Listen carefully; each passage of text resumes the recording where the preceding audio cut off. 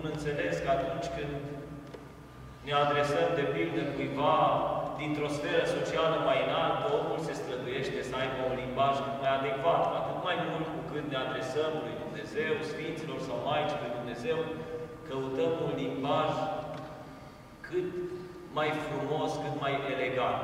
Dar dincolo de frumusețea aceasta a limbajului, de poezia cu care noi o slăbim pe Maica Domnului, să știți că cuvintele acestea nu le rostim într-o formă protocolară, doar că așa trebuie sau că așa sună bine, ci ele sunt și adevărate mărturisiri de credință. Atunci când spunem o rugăciune, noi și mărturisim credința pe care o avem. Noi spunem tuturor de ce o cinstim pe Maica Domnului rugăciunile acestea pe care le rostim și pe care îi le adresăm. Nu o să pot vorbi în această după masă despre toate numirile, însă despre cele mai curente.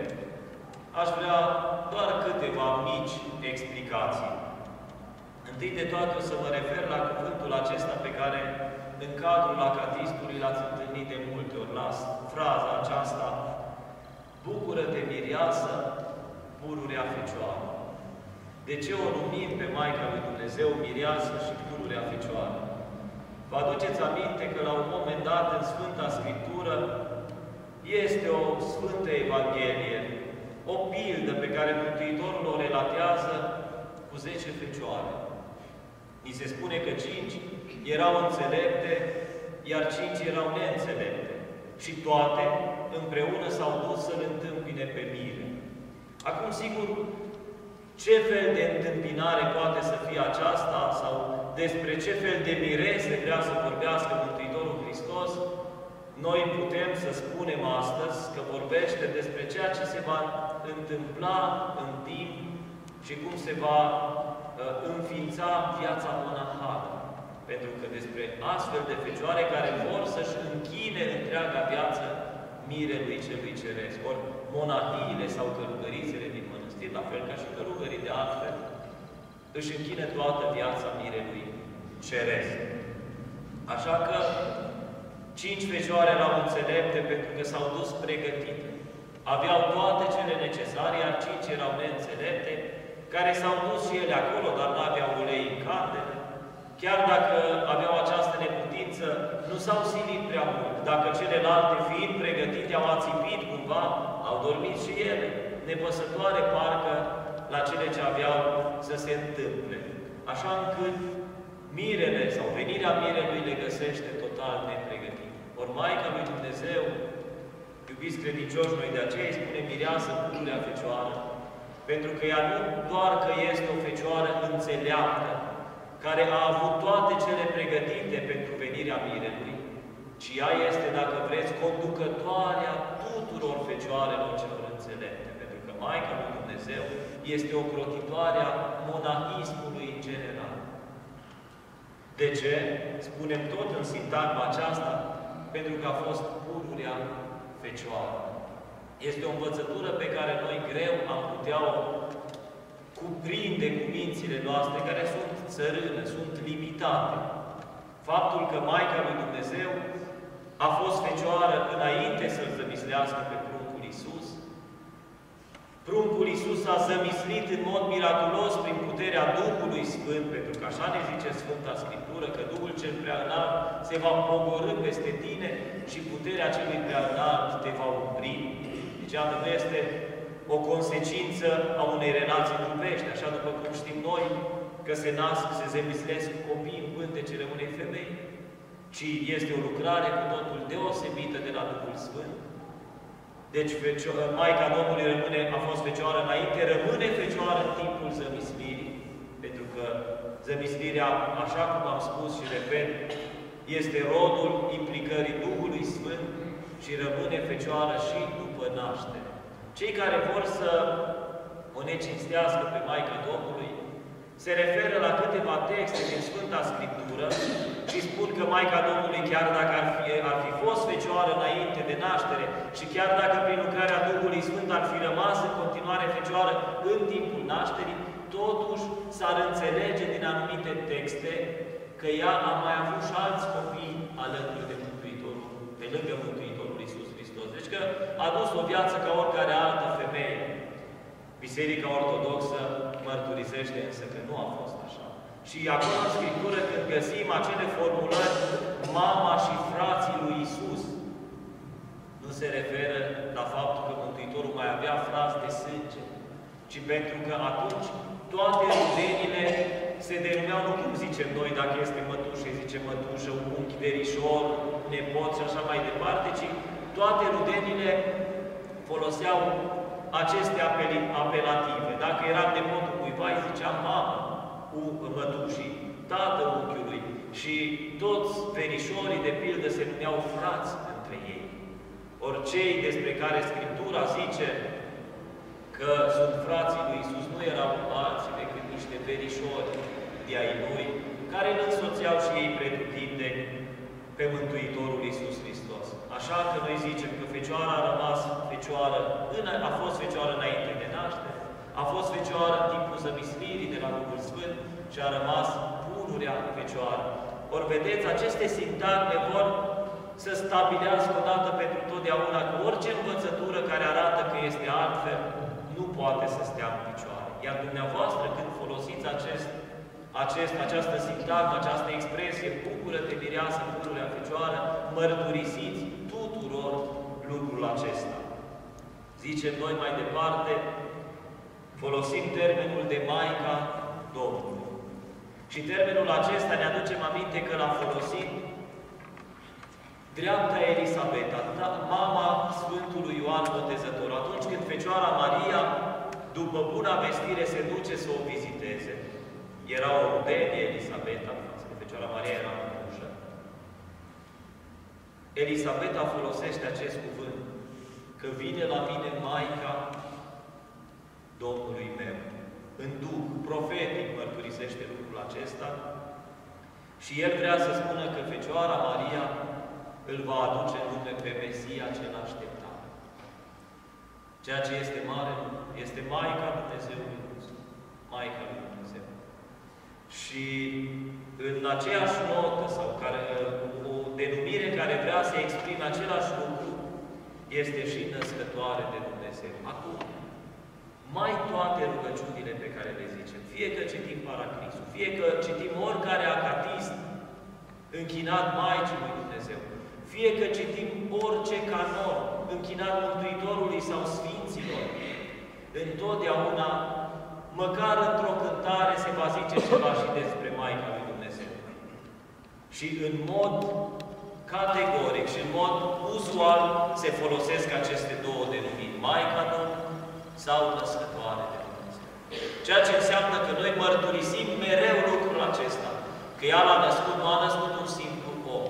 Să știți că prin viacul al, viacul al cincilea, la Efes a avut loc un sinod, care a vrut să stabilească tocmai lucrul acesta, că Maica lui Dumnezeu nu a născut un om care avea puteri mai deosebite, ci în pântecele ei s-a sărășuit Fiul lui Dumnezeu, cea de-a doua persoană a Sfintei Trăi, așa încât denumirea aceasta de născătoare de Dumnezeu este întru totul îndreptățită. Pentru că unii au vrut să arate, chiar dacă în Iisus Hristos a sărășuit puterea lui Dumnezeu, o fecioară, o femeie nu putea să-L zămislească pe în pântecele ei pe Dumnezeu.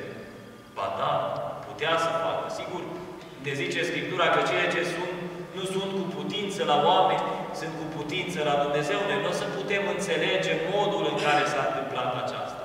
Dar în pântecele Fecioarei a fost, n-a fost nimeni altcineva decât Fiul lui Dumnezeu, cea de-a doua persoană a Sfintei Trei. Întrucât noi o numim pe Maica lui Dumnezeu, termenul grecesc este Teotokos, iar acesta în traducere înseamnă născătoare de Dumnezeu. Care dintre noi n-a învățat, eu de la bunica am învățat rugăciunea născătoare de Dumnezeu Fecioară. Și între toate cele pe care le rostim și le zicem, parcă aceasta are cel mai puternic eco în sufletul meu, tocmai pentru că am primit-o de la bunica mea. Arhanghelul Gavril atunci la buna vestire, când vine și se arată Maicii lui Dumnezeu, folosește aceste cuvinte, cea plină de har, ca să, să, să zămislești cu pântecele tău pe Fiul lui Dumnezeu, dincolo de calitățile tale sufletești, de puritatea și nevinovăția care o caracterizau pe Maica Domnului, sigur că a fost nevoie și de mult har. Maica Domnului a primit har nu ca o altă femeie, ci Îngerul o spune, plină de har. O numim, iubiți credincioși, împărăteasă pe Maica lui Dumnezeu în multe rugăciuni și termenul acesta de împărăteasă vrea să arate cealaltă dimensiune a vieții noastre. Momentul în care noi, înaintea dreptului judecător, vom fi judecați. Așa încât când o numim pe Maica lui Dumnezeu împărăteasă, ne referim la momentul în care în împărăția lui Dumnezeu, împreună cu Fiul ei, va judeca lumea. În Psalmul 44 se spune profetic despre Maica lui Dumnezeu așa și creează o imagine care a fost preluată de icoane. Stătuta împărăteasa de-a dreapta ta, îmbrăcată în haină aurită și prea înfrumusețată. Iată, Maica lui Dumnezeu, în slava lui Dumnezeu judecând în ea. Noi nu avem, și tare m-aș fi bucurat dacă aș fi putut să, să vă arăt acea icoană frumoasă, numită de Isis, poate una din cea mai reprezentativă icoană pe care Biserica Ortodoxă o are, Mântuitorul Hristos pe tronul slavei sale, de partea dreaptă Maica lui Dumnezeu și de partea stângă cine credeți? Ioan Botezător. Ei, aceasta va fi imaginea judecății. În fața acestui tron, iubiți credincioși, vom merge cu toții și vom da seama de cele pe care le-am făcut în lumea aceasta.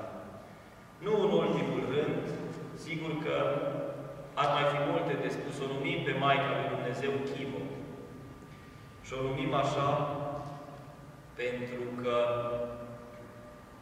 în pântecele ei s-a sărășuit Fiul lui Dumnezeu. N-a mai fost nevoie de templu odată cu zămislirea Fiului lui Dumnezeu. Vă aduceți aminte că la un moment dat am vorbit despre realitatea aceasta, despre templul din Ierusalim, care era centrul vieții religioase. Mai aveau oameni în biserici și în localitățile lor, dar templul era unul singur și templul acesta era împărțit în două părți. Sfânta, acolo unde mai intrau preoții, nu intrau oamenii toți, ei aveau niște locuri speciale, amenajate în afara templului. În Sfânta intrau preoții, iar în Sfânta Sfintelor intra doar arhiereul odată pe an. Ori Îngerul a îndemnat-o pe Maica Domnului să intre în Sfânta Sfintelor, ca semn că nu mai este nevoie de locul acela deosebit de Sfânta Sfintelor, de vreme ce Fiul lui Dumnezeu se va zămisli în pântecele ei. De aceea, iubiți credincioși, pe bolta altarului, nu știu la noi că biserica este mai specială, cum va fi, când vom ajunge la pictură vom vedea, dar toate bisericile pe bolta altarului o au pe Maica lui Dumnezeu. Pe Maica lui Dumnezeu care stă cu mâinile întinse și care îl are pe Fiul lui Dumnezeu în pântece. Pentru că ea reprezintă chivul. În, în lăuntrul ei s-a zămislit Fiul lui Dumnezeu. Și la final, mă refer la o rugăciune de asemenea foarte cunoscută de noi. Rugăciunea cuvine-se cu adevărat. Practic, noi mărturisim tot ceea ce am spus eu până acum în această rugăciune, dar vedeți, cumva este uh, o mărturisire că pe bună dreptate o lăudăm pe Maica lui Dumnezeu, nu? Așa zicem, cuvine-se cu adevărat să ne fericim, adică că se cuvine, suntem obligați, suntem datori, născătoare de Dumnezeu. Vedeți unul din termenii folosiți.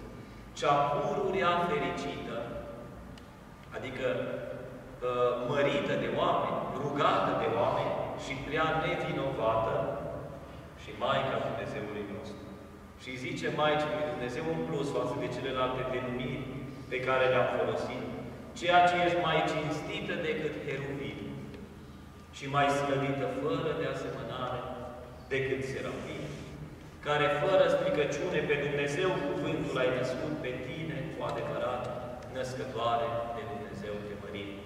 Deci, mai cinstită decât heruvim și mai slăvită, fără de asemănare decât serafim. Iată că Maica lui Dumnezeu a ajuns să fie mai înaltă în Împărăția lui Dumnezeu decât chiar Îngerii lui Dumnezeu. Și aceasta, pentru că iubiți credincioși prin ea, noi am primit posibilitatea mântuirii. Amin. Slavă Tatălui și Fiului și Sfântului. Amin. Profit de faptul că Domnul Corchiș este aici și aș vrea să-i mulțumesc că a avut o inițiativă bună să recondiționeze aceste două sfeșnice care au o valoare prin faptul că ele sunt vechi. Și iată că le-a făcut ca și noi, îi mulțumim pentru inițiativă și pentru efortul depus ca să le uh, recondiționeze. Anul acesta am recondiționat foarte multe din obiectele bisericești. La momentul la care voi face o dare de seamă, o să vedeți. Sigur că din când în când lucrurile trebuie noi, ca și acasă. Dacă vezi că nu-ți mai taie puțin, te duci și cumperi unul nou. Dar pe mine nu m-a lăsat sufletul să las deoparte niște obiecte mai vechi, care sunt frumoase prin faptul că sunt vechi. Așa încât le-am trimis la Patriarhie și cu foarte multe intervenții pe acolo le-am înnoit. Potirul din care aproape în toate duminicile ne împărtășim. Este un potir donat de o familie pe nume Vlad, Ioan și Maria, în anul 1938. Și el arată ca și nou Înainte să-l trimitem la, la recondiționat, nu se vedea nimic pe el. Nu, nu se vedea scris cine l-a donat și a. Sigur, cei de acolo de la Patriarhie l-au curățat frumos, i-au făcut o baie de aur, i-au pus un pahar de argint înăuntru și el este ca nou. Și toți preoții care vin la noi se întreabă unde ați găsit așa ceva, unde ați găsit, pentru că acum sunt alte, altfel de obiecte. Acela are și amprenta timpului și dacă ne gândim și la faptul că de acolo s-au împărtășit zeci de mii, poate chiar sute de mii de oameni, cu atât mai important. Așa încât vă mulțumim tare mult pentru inițiativă și astfel de inițiative le primim mare, mare bucurie.